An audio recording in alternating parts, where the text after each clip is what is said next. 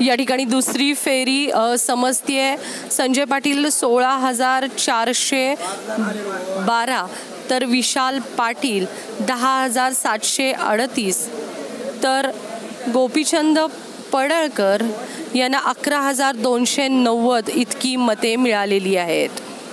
संजय पाटील हे आघाडीवर आहेत. संजय पाटील सोळा हजार चारशे बारा गोपीचंद पडळकर अकरा हजार दोनशे नव्वद तर विशाल पाटील दहा हजार सातशे अडतीसमध्ये पुन्हा एकदा भाजपाची सीट या ठिकाणी आघाडीवर आहे. Bureau report.